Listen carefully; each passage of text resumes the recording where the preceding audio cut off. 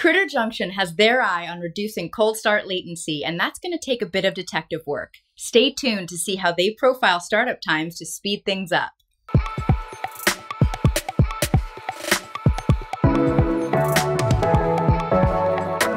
Critter Junction's been seeing longer than wanted startup times for their compute engine instances, even though they set everything according to our auto scaling recommendations.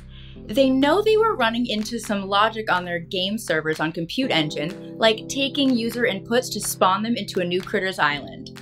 But after profiling their startup times, they were seeing more than 380 second cold start times, while the response latency for a request was in the 300 millisecond range.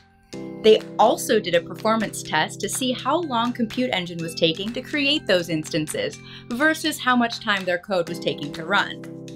This showed request, provision, and boot time straight from the Cloud Shell. Request is the time between asking for a VM and getting a response back from the Create Instance API, acknowledging that you've asked for it.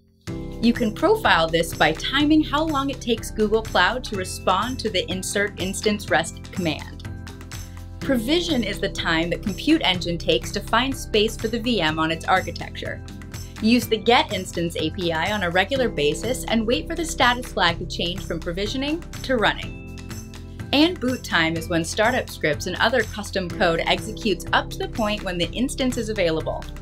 Just repeatedly pull a health check that is served by the same runtime as your app. Then time the change between receiving 500, 400, and 200 status codes. After doing these, Critter Junction noticed the majority of instance startup time usually happened during the boot phase, when the instance executes startup scripts. This is not uncommon, so you should profile your boot scripts to see which phases are creating performance bottlenecks. To get a sense of what stages of your script are taking the most boot time, one trick is to wrap each section of your startup script with the seconds command. Then append the time elapsed for each stage to a file and set up a new endpoint to serve that file when requested. This let Critter Junction dig even deeper to pull the endpoint and get data back without too much heavy lifting or any modification to their service. And there it is! The performance bottlenecks seem to be public images, pre-configured combinations of the OS and bootloaders.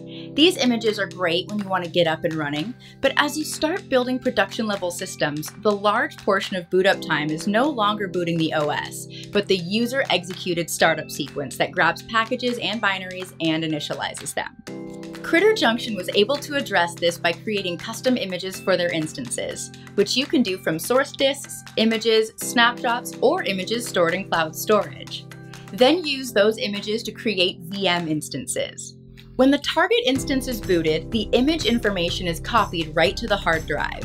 This is great when you've created and modified a root persistent disk to a certain state and want to save that state to reuse it with new instances, and when your setup includes installing and compiling big libraries or pieces of software.